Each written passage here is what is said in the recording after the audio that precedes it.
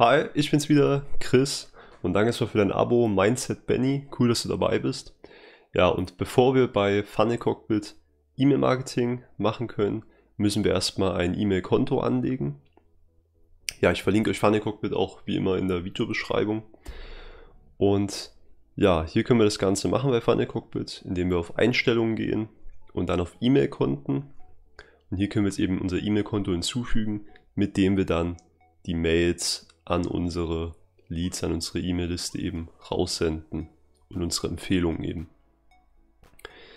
Ja, können wir hier ähm, E-Mail-Konto erstellen, also hinzufügen. Ich gehe jetzt mal hier in Mainz rein. Ja, und ich habe das Ganze mit meiner Domain-E-Mail-Adresse gemacht, weil ich das am einfachsten und am besten finde. Und da habe ich ja meine Domain bei SiteGround. Ja, warum ich bei SiteGround bin, darüber habe ich auch schon mal ein Video gemacht. Das verlinke ich euch mal beim i. Und ähm, SiteCode an sich findet ihr auch einen Link dazu in der Videobeschreibung. Ja, und hier, wenn wir unsere Domain hier haben und in unserem SiteGround-Account drin sind, könnt ihr einfach auf Websites gehen, dann hier unsere Domain eben auswählen, dann hier auf Site Tools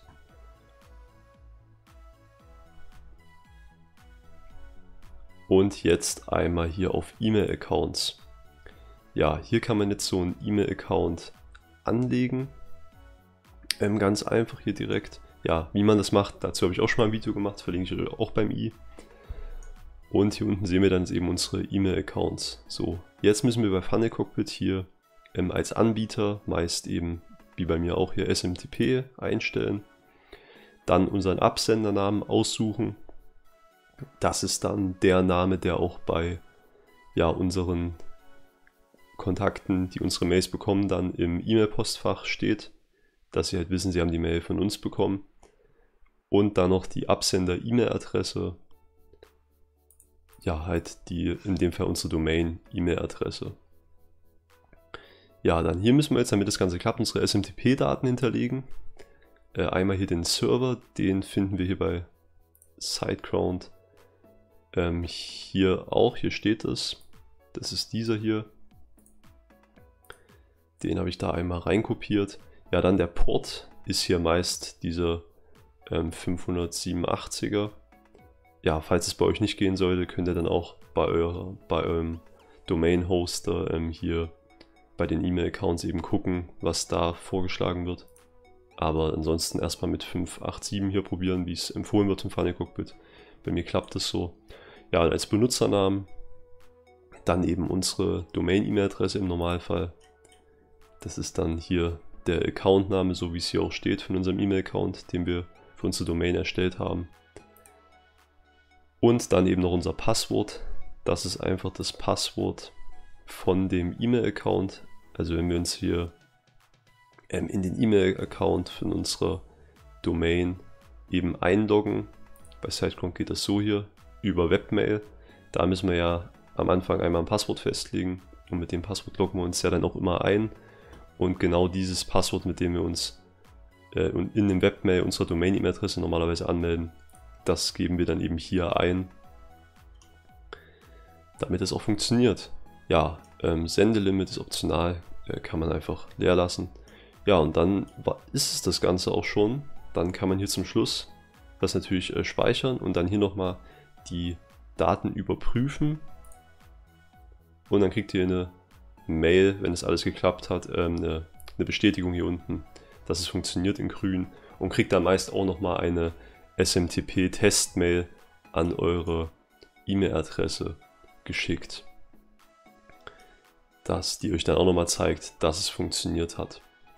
Ja, kriegt ihr dann meist an die E-Mail-Adresse geschickt, die ihr bei Funnel Cockpit in eurem Profil hier hinterlegt habt. Genau, und so einfach geht es ja auch schon.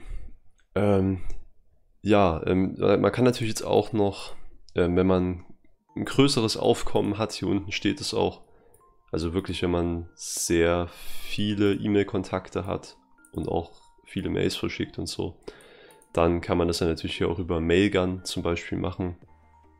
Aber solange wie möglich, wie es geht, mache ich das hier eben noch über meine eigene Domain-E-Mail-Adresse ähm, weil das eben sehr schön ist und sehr einfach geht. Ansonsten, wie man es mit Mailgun macht, dazu gibt es auch ein Tutorial auf meinem Kanal, verlinke ich euch auch beim i.